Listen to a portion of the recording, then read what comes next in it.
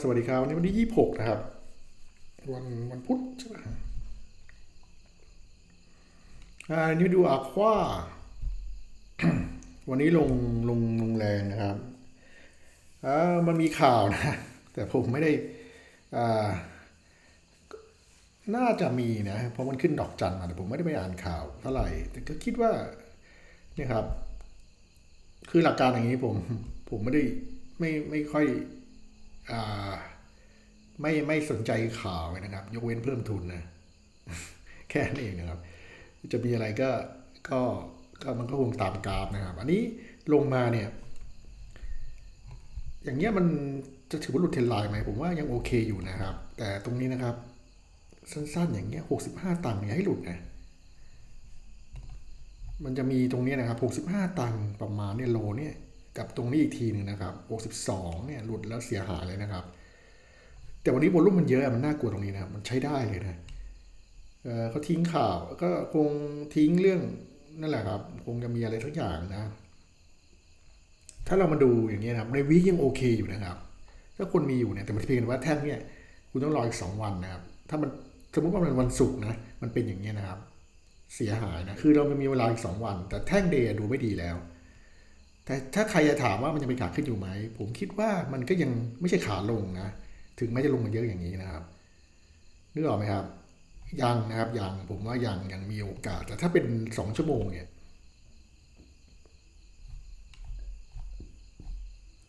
สองชั่วโมงยังดูดีอยู่เลยนะครับ เนี่ยอาจจะหลุด trend line down trend line ลงไอ้ up uptrend ขึ้นมาแล้วลงมาต่ำกว่าห้าสิบไอซ์ไซนะ แต่ถ้าใครกลัวอยู่ก็ก็ขายไปก่อนก็ได้นะครับ เพราะว่ามันก็น่าจะ sell on fact เลยได้สักอย่างนะ หรือมันไม่ใช่เวลา buy on fact นะ โอเคในนี้ก็ผมคิดว่าทรงยังไม่เสีย แต่ถ้าดูดีกว่าหนึ่งแล้วกัน volume แต่วันนี้ก็ชักเสียวๆนะถ้ามีอยู่เนี่ยอืมลองดูนะครับ อันนี้ดูบรูคบรูคเนี่ยก็เหมือนคล้ายๆอาควากันดูนะครับ เนี่ยอาควาถ้าเป็นลายวีคนะคุณดูนะครับเพียงแต่มันจะไม่สวยเหมือนเหมือนบรูคเขานั่นเองบรูมันขึ้นมายาวนานนะเนี่ยไงไอไซมันยังอยู่บรูมันก็ยังโอเคอยู่นะ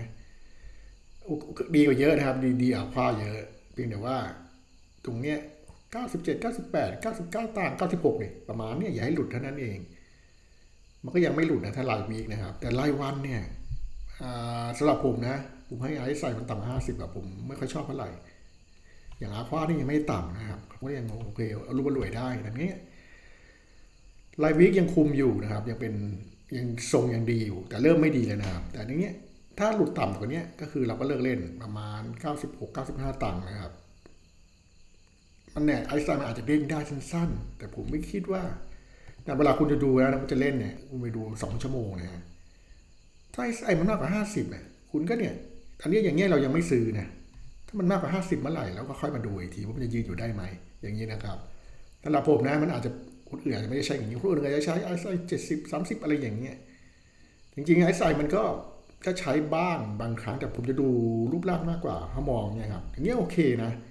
เป็นอะไรให้ดูตรงนี้แค่นั้นเองครับดูเป็นแพทเทิร์นของมันนะข้งเทียนก็ก็ดูบ้าง ก็ดูว่าโอเคอย่างเงี้ยอันนี้ถ้ามันเมื่อวานอะสวยวันนี้เริ่มจะดูไม่ดีแล้ว ต้องดูพรุ่งนี้อีกวันนะครับ ดู XPG เนี่ย XPG นะครับลงมาแรงมากเลยเนี่ยที่อย่างที่บอกวันก่อนสามวันก่อนนะหลุดตรงนี้ไม่เราไม่เราไม่เล่นนะครับสองเจ็ดหกเนี่ยผมคิดว่าตอนแรกนะคิดว่ามันเอาอยู่นะดูดีมันก็ร่วนลงมาเนี่ยอย่างวันเนี้ยน่าจะเป็นไม่รู้ดิครับ ข่าวเรื่องหรืออะไรนะไอผมไปฟังอะไรนะ มันที่ ธนาคารในประเทศไทยใช่ไหมฮะห้าม ห้ามอะไรเนี่ยใช้ในการซื้อคริปโตซื้อของ ผมก็ไม่รู้เกี่ยวกับตัวนี้เปล่านะครับ หรืออาจมันอาจจะไม่เกี่ยวกันหรือมันจะลงของมันเอง เนี่ย พอลงมาปุ๊บก็ยาวเลยนะครับ แต่ละเคยบอกประจำเลยว่า 206อ่าใช่ 206 จะรับ มันลงมาเร็วกว่าที่คิดนะเออ ทรงตอนนี้วีกันเริ่มไม่ดีเลยนะครับ เริ่มตอนแรกโถพอไม่มีไม่มีแท่งเนี่ยถือว่าสวยมากเลยนะถือว่าเนี่ยแท่งเนี่ยสองแท่งเนี่ยทรงอย่างเงี้ยโอ้สวยเลย เกิดสองแท่งนี่จบเลย ถามว่าถ้าจะซื้อผมว่าถ้าคนขายไปแถวเนี้ยสามบาทยี่สิบสามบาทกว่าก็รอบเนี้ยผมว่ารับได้นะ พวกนี้มันเป็นเล่นเหมือนเทรดดิ้งไงคือมันลงมาจุดหนึ่งมันก็ต้องเด้งนึกออกไหมครับ แต่เพียงแต่ว่ามันลงเยอะระวลุ่มสังเกตฮะหลายอย่างนะวอลุ่มไม่ได้เยอะนะครับ คุณดูนะเนี่ยลงมาเนี่ย เออ มันดีตรงนี้นะ แต่มันก็ไม่รู้พูดเข้าข้างตัวเองว่านะครับ ว่ามันมันเหมือนจะขึ้น จริงๆวอลุ่มมันน้อยมากนะ ผมว่าย่อไปเนี่ยเห็นไหมครับ ดูแท่งเนี่ยครับวอลุ่มพีคเนี่ย แล้วย่อไปแล้วลงมาใหม่ อันเนี้ยนิดเดียวเองนะครับ อาจจะแสดงว่าก็อาจจะไม่ไม่ได้ทิ้งจริงจังก็ได้นะ อันนี้ก็ ก็รอดูไปแล้วลองกลับตัวแล้วค่อยซื้อหรือคุณจะซื้อเลย สักไม้หนึ่งก็ไม่ได้เสียหายอะไรนะครับมาดูตัวหนึ่งนะครับ แจ๊สนะครับ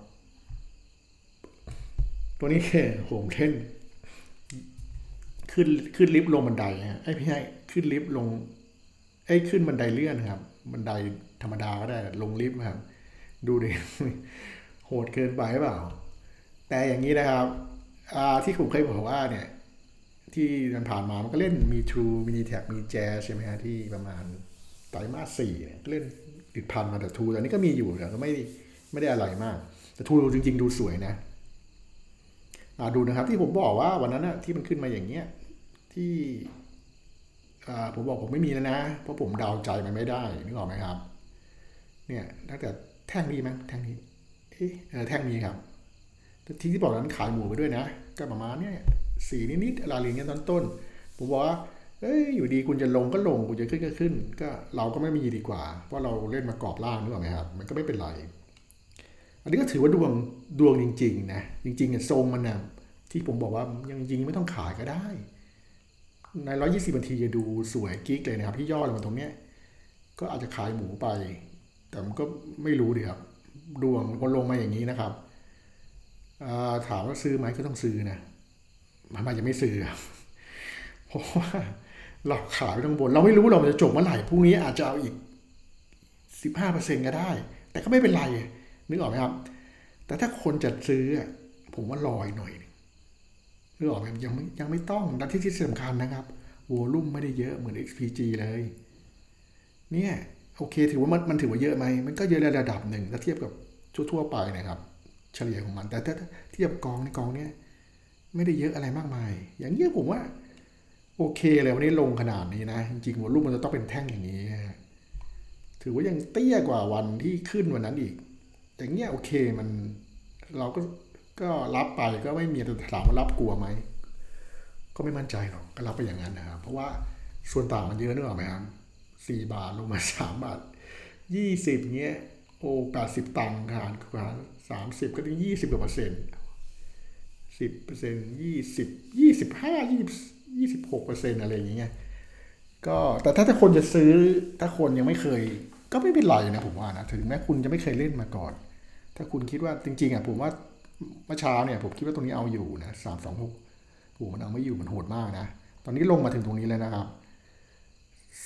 ดาวน์สุดท้ายสามศูนย์แปดเดี๋ยวพอดีเด้งได้นะครับ แต่ถ้าสุดไม่อยู่ก็ต้องอย่างนี้จริงๆนะ แต่ผมคิดว่าสองเจ็ดหกไม่น่าหลุดนะ ผมให้ผมเดานะครับ อันคิดอย่างนี้นะตามกราฟนะ ที่ผมบอกว่า อ่าเนี่ยอาจจะนั่นหน่อยนะครับ เพราะว่าใน week อะที่ผมพูดประจำว่ามัน overbought นึกออกไหมครับ วิธีเคลียร์มันจะมีอยู่ไม่กี่ที ไม่ไม่กี่วิธี ไอ้แท่งอย่างอย่างดูอย่าง day นะครับ แท่งเนี้ยที่เขาบอกผมบอกมันว่ามัน overbought แล้วแหละ แต่มันจะมี 2 วิธีในการเคลียร์ไอซ์ไซส์ลงมานะกรอบล่าง คือทิ้งดิ่ง หรือไม่คุณก็อยู่เฉยๆไป อยู่เฉยเนี่ยอาจจะใช้เวลา 5 วัน 10 วัน 20 วันอะไรอย่างเงี้ยสองอาทิตย์ในการทำให้มันตกลงมาใช่ไหมฮะแต่เนี่ย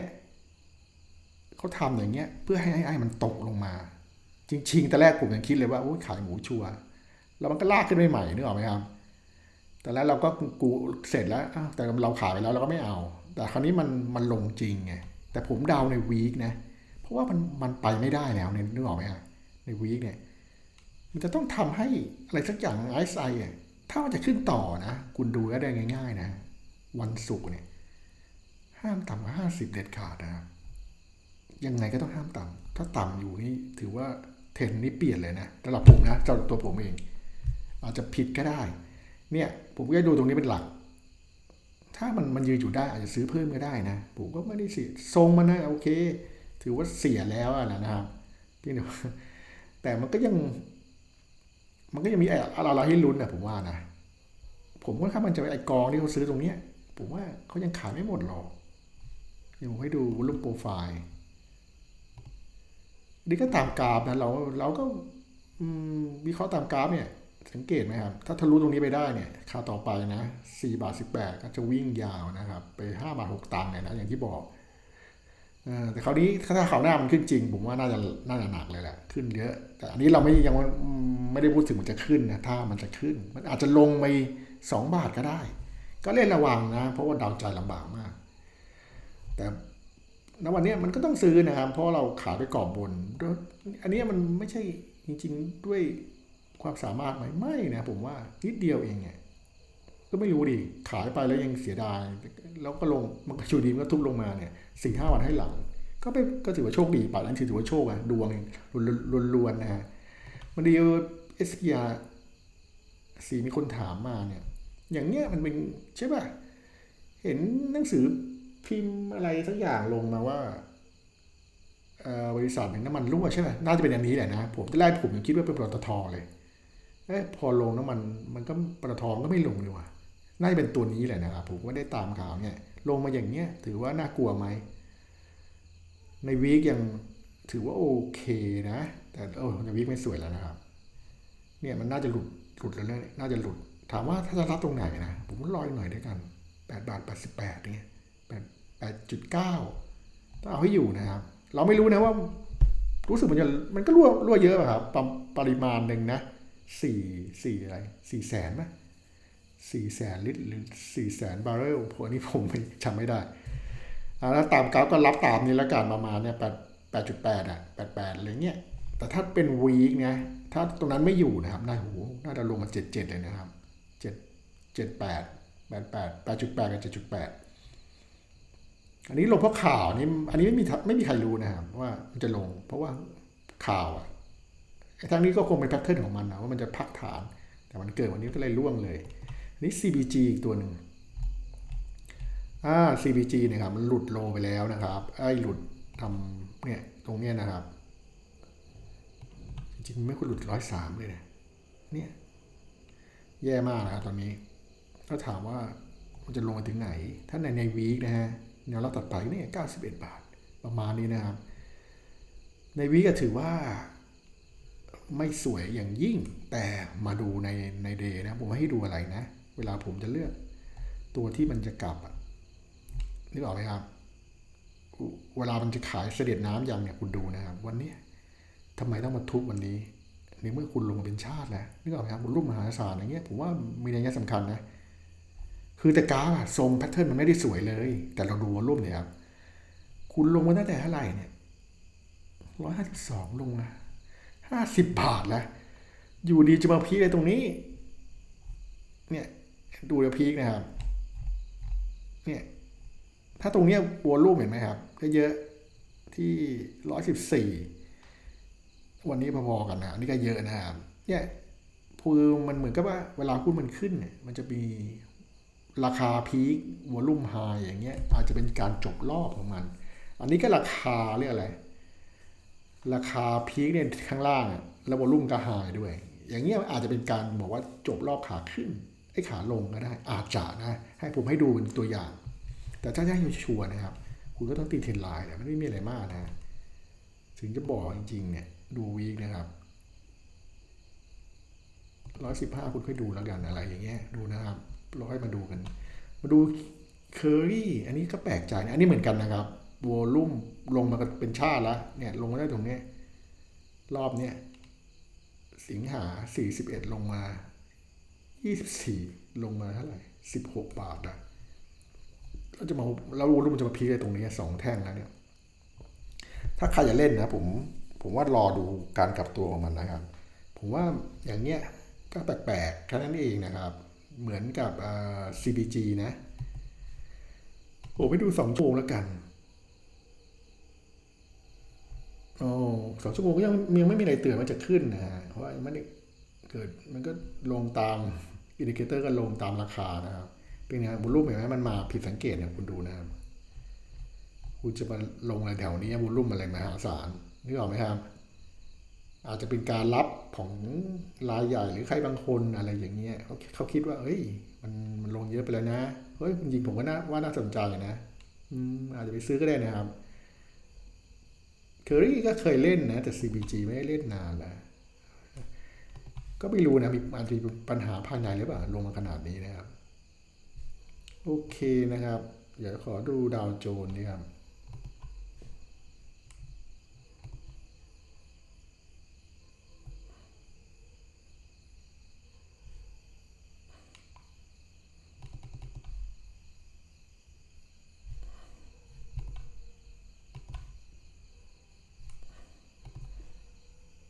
อืม เดี๋ยวดูวีคนะครับดาวโจนวีคกันดี เหมือนกับจะเด้งนะ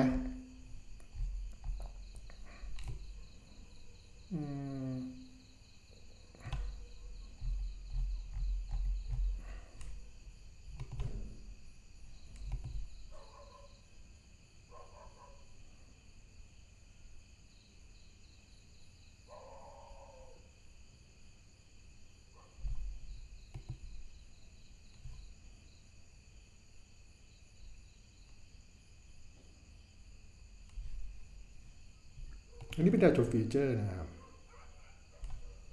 เนี่ย แต่ผมว่าไม่ส่งเงี้ยมันผมว่าเด้งไปเพื่อเดานะ เพื่อลงต่อแล้วนะ อย่าไปเนี่ยเกิด divergence แล้วนะครับเนี่ยนะเคยบอกหลายครั้งแล้วนะครับไม่รู้เกิดกี่ทีแล้วก็ไม่รู้เนี่ยตรงนี้เกิดชัดเจนผมว่าไม่น่าจะรอดนะ คือถึงขึ้นไปเนี่ย ก็คงเป็นข่าวเรื่องเฟดใช่ไหมฮะ จะประกาศมันสุกร์ว่าก็ก็อย่าไปเชื่อ ผมผมไม่ได้ค่อยโพสิทีฟกับดาวโจนมากเท่าไหร่นะ ผมคิดว่าเด้งไปเพื่อลงต่อนะครับ ก็ระวังไว้ให้ดีนะครับอย่าไปอะไรกับมันมาก เนี่ยเนี่ยฮะไอซ่าในในวันเนี่ยมันต่ำผมว่าลงไปชน 50เนี่ยเดี๋ยวก็ร่วงลงมาใหม่ ถ้าลงคราวเนี้ยนะ ถ้าหลุดเนี่ยครับจะแรงมากนะครับสามสามประมาณสามสามสามหมื่นสามประมาณเนี้ย มาดู BTC แล้วกันอีกทีนึงนะครับ BTC ที่นั้นที่บอก 2 ชั่วโมงกับ 4 ชั่วโมง มันเกิด bullish convergence นะ แล้วก็เด้งมาได้ได้สี่พันเลยนะถือว่าโอเคเลยนะครับ อันนี้เท่าไหร่สามพันเจ็ดสามพันกว่าเหรียญถือว่าโอเคเนี่ยให้ดูนะครับ ใน week ยังไม่จบนะครับ ไม่ต้องไม่ต้องกลัวนะครับ อันนี้แค่เด้งทางเทคนิค เนี่ย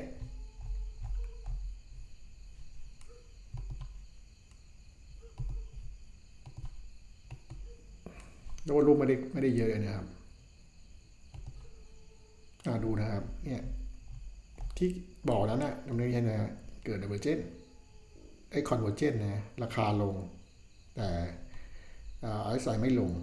ไปดู MACD อะไรก็มันก็เหมือนกันแหละครับ ว่ามันมันเกิดสัญญาณขัดแย้ง อันนี้เด้งเพื่อ